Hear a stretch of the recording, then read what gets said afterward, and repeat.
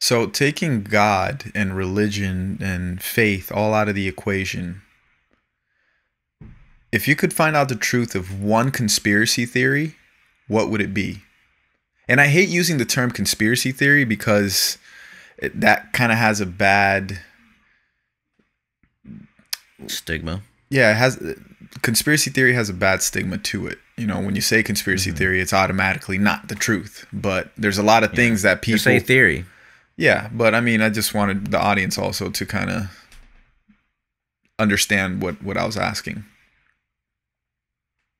Mm, I think the biggest one of all that comes to my mind right now is knowing if Earth is truly round or is it flat.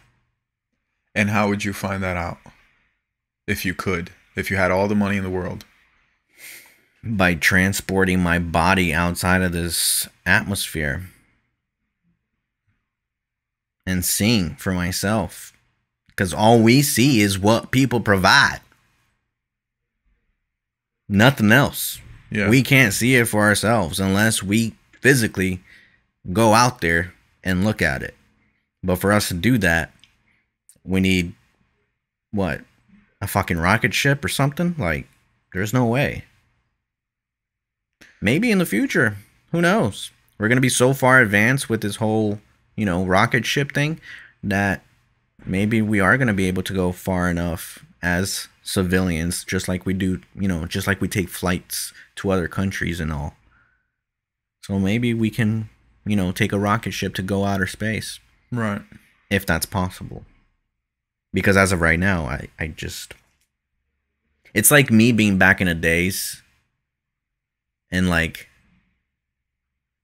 not knowing if it's possible for me for us to fly to another country. Like we have to go by ship, you know?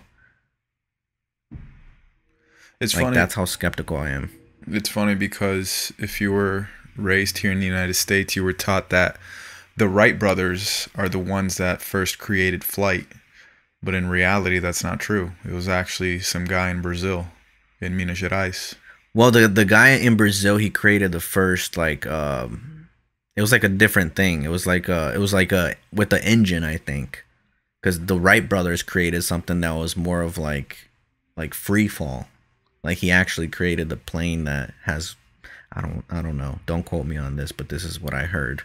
That like it was pretty much around the same time, but the guy in Brazil created something with the engine versus the Wright brothers that created something that you just kind of like jump off a cliff with it and kind of glide and maneuver and all that. hmm